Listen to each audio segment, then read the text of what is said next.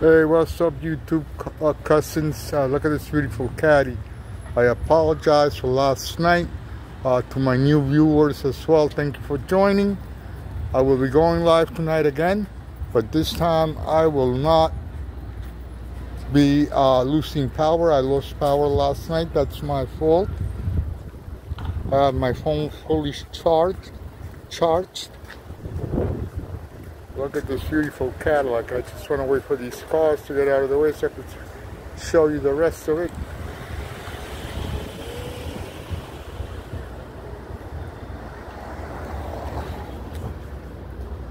Mom will be coming. Mom, come on. Okay, he's gonna park, looks like. Yep, he's parking. So, this is a beautiful, beautiful caddy. Anyway, people, you all have a great evening. I will see you later around 7 o'clock.